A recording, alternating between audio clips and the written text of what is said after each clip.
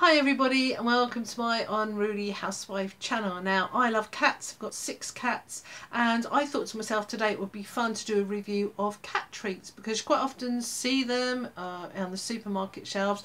They're pretty expensive and um, you might wonder well will the cats like them and what's inside that little packet anyway. I'm going to show you and um, then later on my cats are going to do a little bit of a demonstration of their reaction um, followed by an outtake that I'm not even going to talk about. Okay, so let's crack on. First kind of cat treats we're going to talk about are these kind, the meaty sticks. So we've got Webbox. This is not a sponsored video, by the way, okay? Just thought I'd better tell you that. These are Webbox ones. There's like fish ones and chicken ones. There's a Sainsbury's one.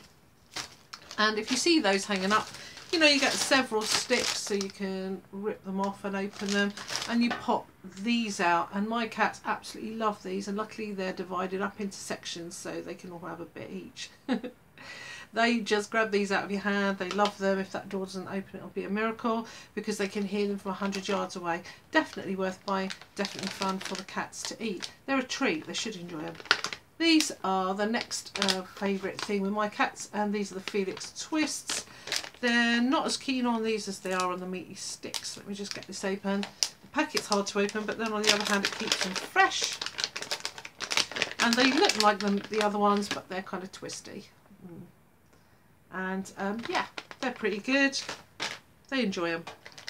Next in line, I'm going to say these catnip drops. I would say that cats don't really, in my opinion, my cats and the feral cats in the garden, sometimes I test these treats on, they don't really like them. And um, so these they're okay with. I mean, they're in date. They've got the batch date on them. There's nothing wrong with them, but only Mog wants to eat these. So out of six cats, only one of them wants to eat them. They're catnip drops. People always assume that cats are going to go crazy for catnip, and certainly in toys I think that's true, but in food they don't seem as impressed as they're meant to.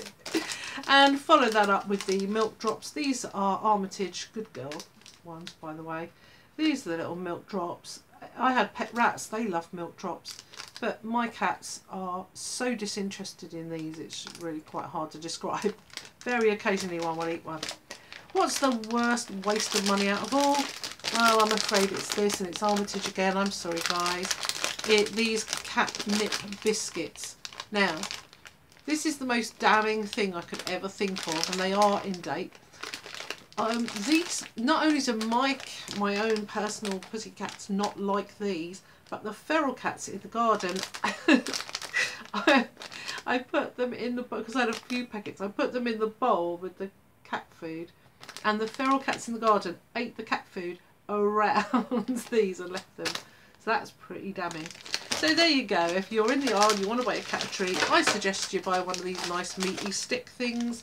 Um, if you want a bit of variety, maybe them, but the rest of it, don't even bother.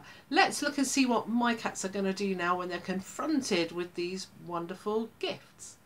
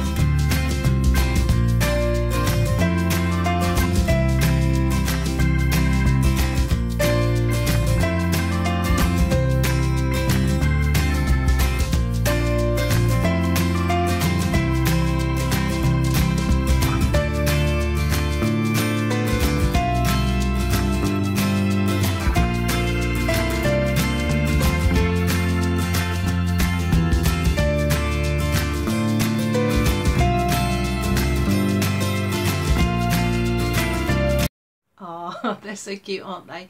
If you enjoyed this video, despite the rather abrupt end to that music, editing fail, I don't, I don't know how to fade it out. Sorry. If you enjoyed it, do give the video a thumbs up. Maybe you want to share it with one of your cat loving friends. You could even think of, oh, subliminally subscribing to my channel.